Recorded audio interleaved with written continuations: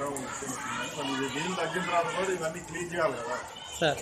Kitchen కానీ class రూమ్లో కూడా వాటర్ వచ్చింది ఇవన్నీ చెప్తే మరి రోడ్లు కూడా బ్లాక్ అయినాయి అంటున్నారు కదా వాళ్ళు తీసుకోవడానికి కూడా ఇబ్బంది అయిపోతున్నారు. సార్. అందుకని వన్ అవర్ టూ అవర్స్ చూద్దాం చూసిన తర్వాత అధికారి తమ్ముడిని మదన్ మోహన్ మాట్లాడుతున్నాను ఈ వర్షాల గురించి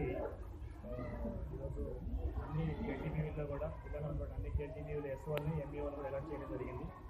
అన్ని స్కూల్స్ విజిట్ చేసి అక్కడ పరిస్థితిని ఒకసారి సమీక్షించి నివేదిక ఇవ్వమని. అయితే నేను ఈరోజు సింగరేణి కేజీపీని విజిట్ చేయడం జరిగింది.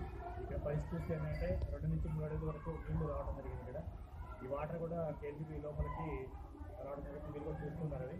ఇక్కడ ఉన్నటువంటి స్థానికంగా ఉన్నటువంటి పొగవాగు పొగటవనం ఈ ప్రెమిసెస్ అంతా కూడా ఈ ఏరియా అంతా కూడా లో ఏరియా కావడం వల్ల ఈ వాటర్ ఇక్కడ రావడం జరిగింది. ఇది వర్షం తగ్గుముఖం బట్టి వాటర్ తగ్గితే కనుక తగ్గితే కానీ ఇబ్బంది తగ్గట్లేదు సో అప్పటి వరకు కూడా పిల్లలకి ఇబ్బంది లేకుండా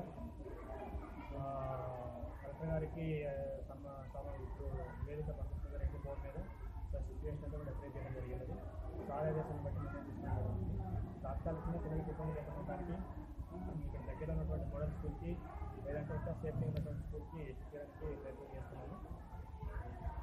ఇక్కడ కూడా వాటర్లో ఏంటంటే వాటర్ కదా త్రీ ఫీట్లో లయింగ్ ఏరియా పోవటం వల్ల ఇక్కడ ఉన్నటువంటి సెప్టిక్ ట్యాంక్ కూడా లీకేజ్ తోటి అది కూడా నిండిపోయినది. ఇది మొత్తం కూడా వాటర్ పొల్యూషన్ అయ్యే పరిస్థితి ఉంది ఇక్కడ ఇక్కడ స్థానికంగా కరెంట్ కూడా ఆఫ్ చేయడం జరిగింది. ఎందుకంటే వారెంట్ వాటర్లో మళ్ళీ లీకేజ్ అయితే పిల్లలు షాక్స్ అవకాశం ఉంది కాబట్టి ఈ మెయిన్ స్విచ్ చేయటము ఇక్కడ ఈ ఏరియా వరకు కూడా కరెంట్ ఆఫ్ చేయించాలని రిక్వెస్ట్ చేయడం జరిగింది. స్థానికంగా తహసీల్దార్ గారు కూడా ఈ యొక్క కేజీబీని విజిట్ చేయడం జరిగింది. పిల్లలకి ఇబ్బంది లేకుండా తగిన రక్షణ చర్యలు తీసుకుంటున్నాను.